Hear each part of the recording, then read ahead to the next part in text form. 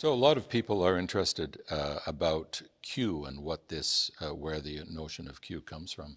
Um, scholars since uh, at least the end of the 18th uh, century uh, have been wondering about the relationship among the first three Gospels, Matthew, Mark, Luke. And uh, Mark's Gospel is, as I think everyone knows, the shortest, about 666 verses. Um, Matthew is, uh, is longer by another 400 or so verses, and Luke just a little bit longer than that. The overlap among the three is, is such that it is very difficult to imagine that these are three independent um, accounts of the life of Jesus. There is not only a good deal of verbatim agreement either between two of them, Matthew and Mark, or Mark and Luke, uh, or sometimes among all three, but also sequential agreement. That is, they tell the same stories, they have the same sayings in the same relative order. And the combination of both uh, verbatim agreements and sequential agreements are, are of a nature that indicates to scholars that some kind of literary relationship exists among the three. Question is, what is that? Uh, what is that literary relationship? I think it's fair to say that the, by far the large, largest majority of scholars who work on the, what's called the synoptic problem uh, agree that uh, Mark is the earliest of the three Gospels, and that Matthew and Luke have both used Mark. And that, in part, accounts for the, uh, the sequential agreement, the rough sequential agreement that Matthew and Luke have, uh, agreeing with Mark and sequence, and it agrees, to, and it accounts in some some sense for the uh, agreements that they have in wording between uh, with Mark. Um, now, the Synoptic Gospels, Matthew and Luke, have another set of material that is not in Mark at all. Um, this is, has been called the double tradition material. Uh, and what that means is it's, it's material that Matthew shares with Luke, but which Mark does not have. So if, um, uh, if Matthew and Luke in general got a lot of their material from Mark, then the question is, where did they get that double material from. Mark doesn't have it, so they didn't get it from Mark. Um, and there's, there's a couple of logical possibilities here. One logical possibility is that Matthew got it from Luke, or Luke got it from Matthew. Uh, and another possibility is that each of them independently got, got that material from another source. And that source is what has been called Q, which simply um, stands for the German word Quelle, which means source. At present, the most commonly espoused solutions to the synoptic problem, I should say hypotheses that offer solutions to the, uh, the synoptic problem, are two. Um, the first is what is called the two document hypothesis, which argues that Matthew and Luke used Mark's gospel and used that as a kind of skeleton for both of their Gospels, and that Matthew and Luke independently used a second document, um, which let's call it Q, uh, and uh, that is where they obtained the double tradition material from. There's a lot of parables there. Sermon on the Mount, Sermon on the Plain is largely double tradition material, and um, a number of other bits. It totals about about 4,200 words of text. So that's the two doc document hypothesis. The other hypothesis is that Matthew used Mark, Luke used Mark, but that Luke used Matthew also, and that the so-called double tradition material uh, that Luke has is material that he got from Matthew and used that to supplement uh, what he had received from Mark. So both of those solutions are, I think, in broad um, description, logically possible.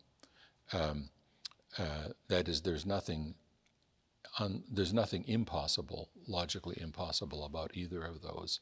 Now, in the study of the synoptic problem, uh, one moves from scenarios that are logically possible to scenarios that are editorially plausible. That is, can we understand Luke's procedure on the two document hypothesis uh, as a sensible procedure that does that is does the assumption of his use of mark and q uh, make sense when you look at the product that Luke produces or that Matthew produces, and likewise when you look at the what's called the Farrer hypothesis, that is that Luke uh, has used both Mark and Matthew uh, to produce his gospel, uh, whereas Mark uh, Matthew has used only Mark uh, and some extra material that he's uh, that he's got from some other source to produce his gospel. Uh, does that make editorial sense? Um, so I think it's not a secret that I hold to the two document hypothesis, uh, and I think that uh, that positing a Q makes better sense of the results of, that are obtained by Matthew and Luke than to suggest that Luke has received the double tradition material from Matthew. Um, and my reason for, uh, for not espousing that second position uh, is that it, if I were to hold it, it would require me to assume what I think is um, a, an implausible level of literary inventiveness and uh, editorial um, uh, transformations on the part of Luke. So, in the study of the synoptic problem, as I conceive it, uh, one moves from editorial scenario, uh, from scenarios that are logically possible to editorial scenarios that are editorial editorially plausible. That is, where we can uh, where we think we can understand how Matthew and Luke uh, worked as editors, assuming the sources that respective hypotheses uh, uh, suggest that they had. So to think about the current complexion of Matthew and Luke seems to me to make sense if we imagine Matthew and Luke independently using Mark uh, and they change, they, they take over some of Mark, they alter Mark. They tend to alter Mark in different ways when they alter Mark, which, is, which would suggest that one has not seen the, the alterations of the other. And when they take over the Q material, the double tradition material, saying Sermon on the Mount, Sermon on the Plain, number of parables, and so forth, they tend to uh, place it differently relative to the Markan framework. So the illustration that I use with my students is imagine that you've got a narrative account of, let's say, the life of Socrates, and you've got a collection of sayings of Socrates. Um, and I, I give these two packages of information to all 42 of my undergraduate students and ask them to produce a single story of Socrates. In all likelihood, unless there's collaboration, uh, we will get 42 different accounts because each of my students will make different editorial judgments about where to plug this saying into the narrative framework and where to plug that saying. And so we'll end up with very different accounts. If there's collaboration amongst the students, we'll be able to see that because they will have made identical editorial decisions about where to put this saying in uh, in relationship to this narrative uh, event. Now, that seems to me the situation that we have in Matthew and Luke.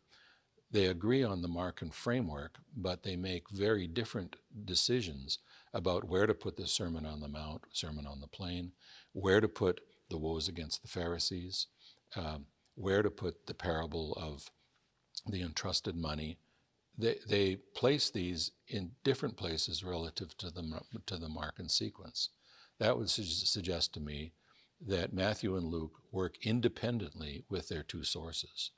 Now, the other view, the the um, I'm sorry, the Farrer hypothesis, that um, assumes that Luke has direct access to Matthew and gets the double tradition from Matthew, that has to explain then this peculiar feature that is that Luke tends to make different editorial choices of the positioning of the so-called Q or double tradition material relative to the Markan framework. In fact, and does so pretty consistently. Now, it's certainly not impossible to imagine an author doing this, that is, fairly consistently dislocating from its Matthean location a saying and sticking it somewhere else. But then I think as a literary scholar, one needs to explain why Luke would do this. It's, you're going to an awful lot of trouble to systematically dislocate Q sayings or double tradition sayings from their Matthean location. Um, uh, why not take over Matthew's location at, at points? There seems to me nothing wrong with it. Um, now, the uh, one of the uh, one of the responses to this objection is, well, perhaps Luke came to know Mark much earlier than he came to know Matthew, and so Mark was already kind of set in his head um, uh, before he uh, before he got this second this second source, and since um, Mark's sequence and Matthew's sequence uh, agree pretty strongly. When he came to a, uh, a, a, a, double tradition saying that occurs in one Matthean context, he decided, let me just collect all of those extra Markan sayings from Matthew and stick them, uh, let's say, starting at the in chapter six and another block starting in the cha in chapter nine and so forth. I guess that's that that's not an that's not a theoretically impossible scenario to imagine. But it seems to me, as a literary explanation, it's it makes much more sense of the data to say Matthew and Luke are working with their two sources independently, and of course that means they're going to come up with two different combinations of those of those two sources. Uh, that's the two document hypothesis. So in terms of the kind of ease and efficiency of uh, a literary explanation or an editorial explanation. It seems to me that the, uh, the two document hypothesis is simpler uh, because it doesn't have to posit that Luke systematically dislocates double tradition sayings from their Matthean location and, all, and always places them, them somewhere else when you do that, then you have to explain why does Luke decide to do that? Why does he decide to move this saying from here to here?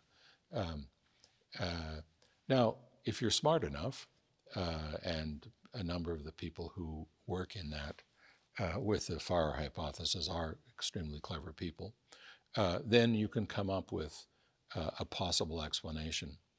Um, uh, but it, the, at the end of the day, it comes comes down for me to whose explanation seems uh, more plausible given what we know about ancient editorial habits, um, which tended to be pretty conservative. Editors just tended to work with documents as they got them rather than engage in massive reorganization of those documents.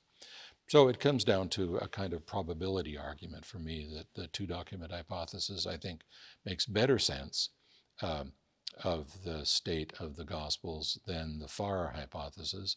And that leaves me then with having to posit a um, which turns out to have its own literary integrity and uh, uh, own literary genre. It's a sayings collection uh, rather than a narrative life of Jesus. Uh, and it has some distinctive uh, theological emphases in it that are independent of Mark, certainly, and actually even independent of the editorial interests of Matthew and Luke.